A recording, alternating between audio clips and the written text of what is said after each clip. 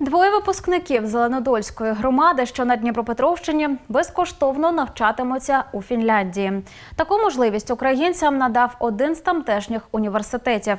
Вимог для майбутніх студентів небагато: володіння англійською, атестат про повну середню освіту та закордонний паспорт. Керівники проєкту від України кажуть, наразі залишилося ще кілька вільних місць. Головне вчасно прибути до країни і оформити міграційні документи.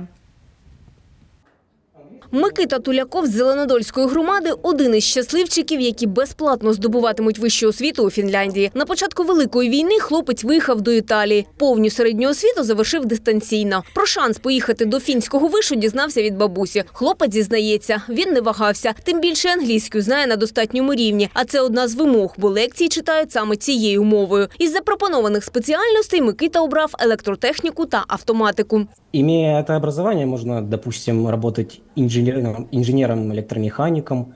Вообще инженером все, что связано с э, техникой. Когда я узнал об этой новости, ну, меня сразу же это, естественно, заинтересовало.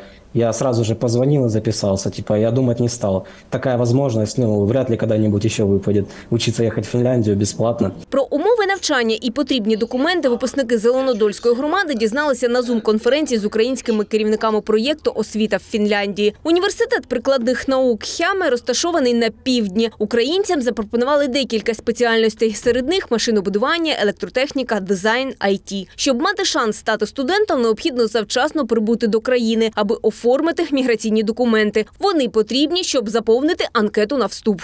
Приймаюча сторона надає нам безкоштовне проживання, приймаюча сторона надає нам безкоштовно квитки з міста Варшава до міста Хельсінкі. Ви маєте бути там для того, щоб повторюю, щоб оформити документи.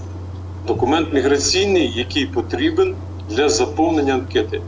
Приймаюча сторона чи сторона Фінляндії хоче навчати тих, і ця програма розповсюджується розповсюджується на тих, хто вже в країні. Заповнення анкет стартує 1 серпня о 8 годині. Екзаменів українцям складати не потрібно, говорить керівник проєкту в Україні. Перша група майбутніх студентів вирушить до Гельсінки вже 14 липня, але кілька вільних місць ще є. Сам університет готовий прийняти понад 100 учнів наших.